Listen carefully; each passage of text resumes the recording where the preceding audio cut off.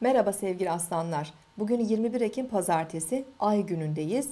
Çevrenizdeki kişilerin, e, yakınlarınızın bugün e, sizden beklentileri biraz yoğun olabilir. Onlara karşı sahip olduğunuz sorumluluklarla ilgilenmeniz gereken bir gün geçirebilirsiniz. Gününüz bu nedenle e, çok yoğun geçebilir.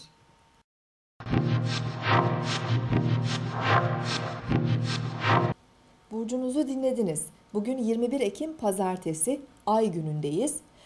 Ay Boğa burcunda ve boşlukta ilerleyecek gün boyu ve akşam 19-15'ten itibaren İkizler burcuna geçecek. Gün içerisinde e, ağır ve sakin enerjiler hakim olurken günlük işlerimiz bugün biraz yavaş ilerleyebilir.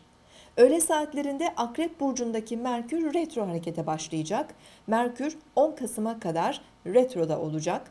Bu süre içerisinde e, zihinsel olarak daha içe dönük olabiliriz. Kuşkucu, takıntılı e, davranışlar olabilir. Derin düşünceler, sezgisel e, düşünceler ve içgüdüsel tavırlar biraz artış gösterebilir.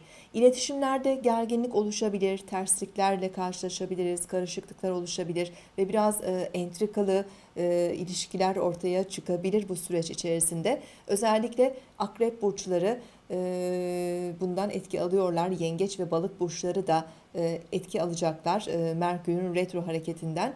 Akşam saatlerinde Ay ikizler Burcu'na geçecek. E, zihinsel olarak daha aktif hale gelebiliriz. Ancak Ay ilk açısını Neptün'e kare olarak yapacağı için bu da aslında çok da e, işlerimize konsantre olmamızı e, zorlaştırabilecek bir durum olacak. Bu nedenle çok da verimli olmayabilir.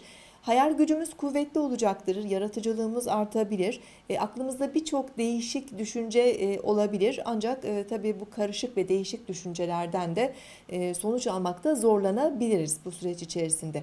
Yarın tekrar görüşmek üzere. Hoşçakalın.